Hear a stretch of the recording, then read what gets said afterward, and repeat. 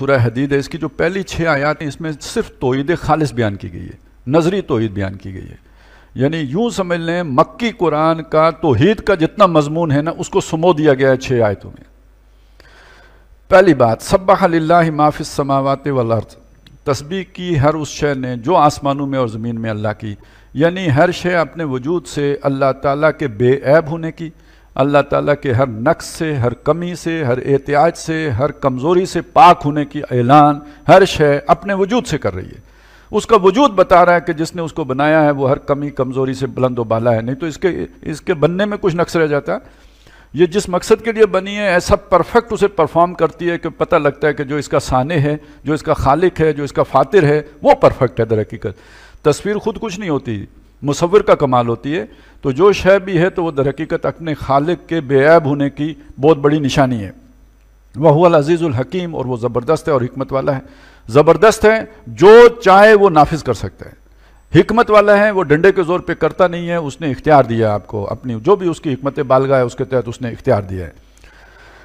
उसके बाद जो अगला तारुफ है, जो हम बिल्कुल भूले बैठे लेकिन नोट कीजिए, कुरान ये तारुफ करा रहा है, लहू मुल्क समावत वलर्द आसमानों और ज़मीन की बादशाही उसकी है।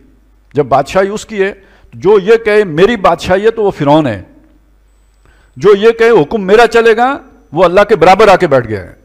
जो ये कहे, यहाँ अथॉरिटी मेरी है, उसने अल्लाह की अथॉरिटी को चैलेंज कर दिया है।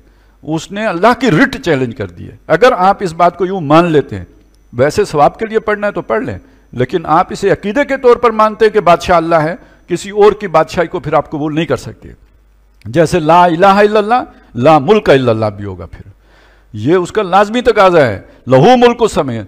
अगर दवा उसके सिवा किसी से नहीं की जा सकती, अगर सईदा उसके सिवा किसी को नहीं किया जा सकता, इसलिए कि ला इलाहा इल्लल्लाह तो अगर बादशाही उसकी है तो फिर उसके अलावा किसी को बादशाह भी नहीं माना जा सकता। और जिसको बनाया है कानून साज, मुकन्नन, वो अल्लाह को छोड़कर आपका रब है फिर। अफा तत्खजून वो, सॉरी, जो इतखजू अखबार व रोबान हूँ अरबाबा मिंदूनिल्ला इन्होंने अपने अखबार और रोबान को अपना रब बना लिए तो उन्होंने तो फिर भी कोई इल्म वालों को, कोई दरवेशों को अपना रब बनाया था। हमने तो गली के लोंडों को अपना रब बनाया हुआ है, जो जाके कानून साजियाँ करते हैं, जिन्हें यह भी पता नहीं लगता कि क्या कानून बनाया है। वो तो कोई और बना के बेचता है वो ठप्पे लगा देते हैं। उन्हें खुद पता भी नहीं होता क्या होता है। तो इस एतबार से इसकी गंभीरता का अंदाज़ा लगाएँ कि ये तोहिद का ये तकाजा मानने का फिर मतलब क्या है? लहू मुल्क समावाते वलर्द युखी व युमीद खुद नहीं मरते हो और खुद नहीं ज़िंदा। वो ज़िंदा रखता है तो ज़िंदा हो और वो मारेगा तो मरोगे। ये इस आयत का मतलब इस टुकड़े का, छोटे से का ये मतलब है। आया हमारा ये अकीदा है? है तो तोहिद के मुताबिक है। नहीं है तो फिर कोई और ही लाइन है। युख ये वो ज़िंदा रखता है वही उम्मीद वो मारता है। वह हुआ अला कुल्ल शहीन कदीर, वो सब कर सकता है। कोई और सब नहीं कर सकता। सिर्फ़ वो सब कर सकता है। बाकी जिसके पास जो इख्तियार है, उसका दिया हुआ इख्तियार है। किसी के पास आपको अगर कोई कुदरत का कोई शायबा नज़र आता है, वो अल्लाह सल्ब कर सकते हैं। अल्लाह इतना भी कर सकता है कि आग को जलाने से मना कर दे, वो नहीं जला सकती। अल्लाह ये भी कर सकता है, पानी को कहे कि किनारे होकर खड़ा हो जाए वो उसका वो कानून खत्म हो जाएगा कि पानी सतह हमवार रखता है। वो सतह हमवार नहीं रखेगा।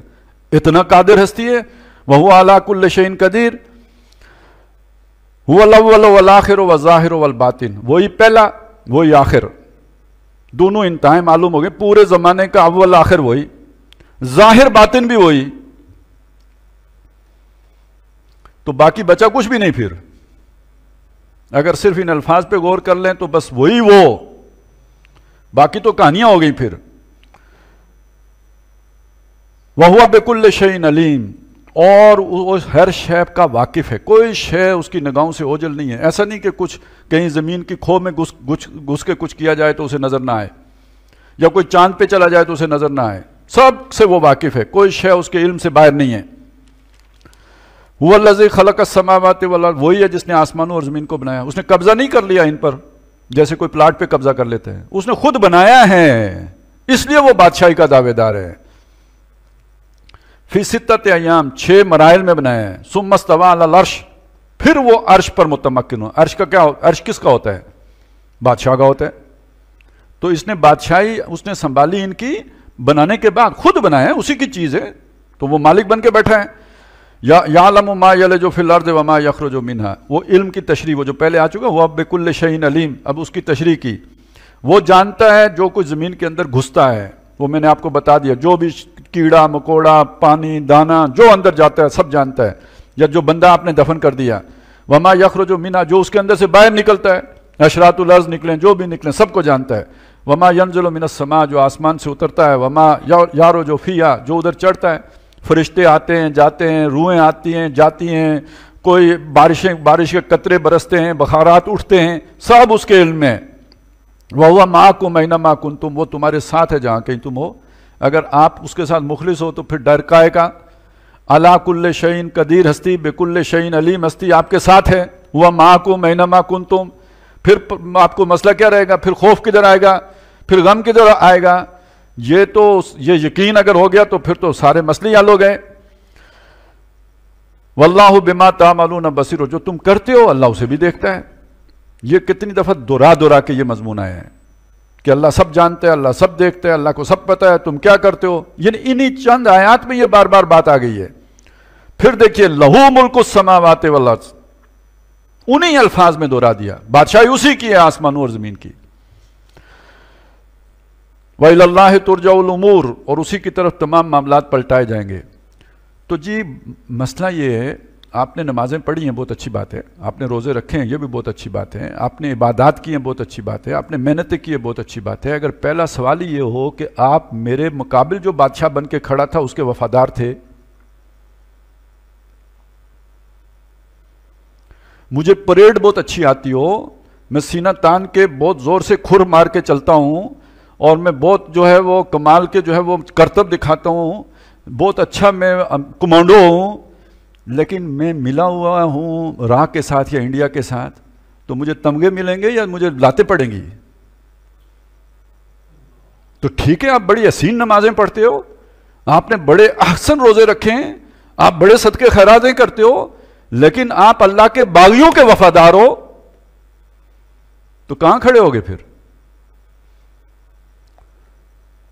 वही अल्लाह तुरजाउलमूर तो सुन रखो, समझ रखो, जान रखो यकीन रखो, ये सारी फाइलें एक दिन अल्लाह के सामने पेश होंगी। और वो पहले मोटा हिसाब लेगा कि भाई आप वफादार किसके थे? आपको मोहब्बत किससे थी? आपको उम्मीद और तवक्को किससे थी? आपका तवक्ल किस पर था? पहले तो इधर आओ ना, ये हिसाब करते हैं ना पहले तो होता है ना, नजरी, इल्मी, जो आपका एग्रीमेंट है, जो आपका कॉन्ट्रैक्ट है, उसकी बुनियाद पे देखा जाएगा।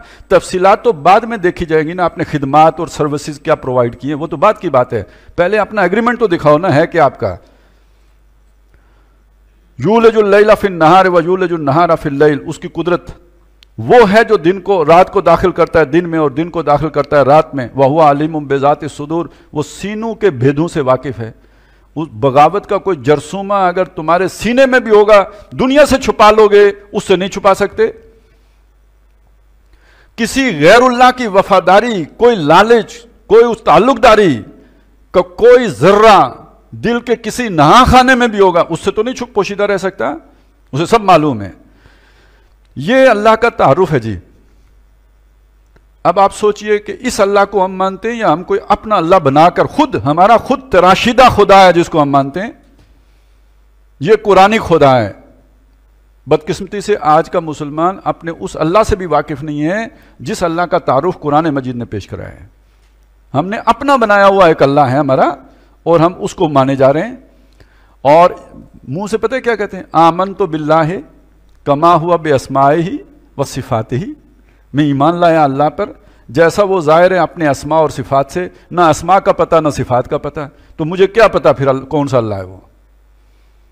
अल्लाह की मार्फत का सबसे बड़ा ज़रिया उसके असमा और सिफात। और ये देखें, ये छह आयात में एक तारुफ आ गया। उसका खुलासा आ गया लुब्बे लुबाब आ गया। और ख़ुद अल्लाह ने पेश कर दिया। मौलवी साहब ने नहीं किया कि आप कहें कि भाई कोई नुकता रह गया या कोई नुकता इजाफी दाखिल हो गया, कोई मुबालगा हो गया या कोई कसर रह गई। ये जाम व माने तारुफ है अल्लाह का।